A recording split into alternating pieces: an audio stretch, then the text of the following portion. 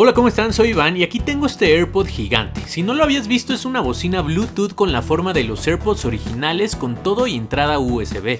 Pero realmente es un adorno, vamos a verlo. Primero que nada, esto lo compré hace como 3 meses y esta vez se tardó demasiado en llegar aquí a México. Por si te interesa, seguro va a tardar en llegar.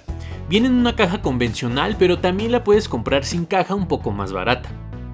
Esta bocina está muy bien hecha en el sentido de que es casi igual a un AirPod, pero obviamente los materiales no son buenos y no tiene calidad. Si alguna vez compraste alguna bocina Bluetooth barata sin marca o incluso audífonos sin marca en China, bueno pues el plástico es igual a esas cosas.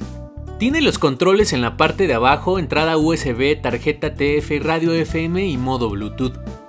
Hablando del sonido, obviamente no suena bien, es más que nada un punto extra que tenga la funcionalidad de bocina porque realmente para eso no es recomendable. Suena mucho mejor el Note, por ejemplo. Para mí es más que nada un adorno o accesorio que se puede ver interesante o chistoso en tu casa. Y ya, no hay mucho que decir, a mí me gustó y estaría padre ver por ejemplo los Galaxy Bots Live, los frijoles de Samsung en una bocina como esta, creo que se verían muy bien. También venden los AirPods Pro y están en varios colores. Me costó 13 dólares en AliExpress, más o menos 380 pesos. Te dejo el link como siempre en la descripción. Yo soy Iván y nos vemos en el siguiente.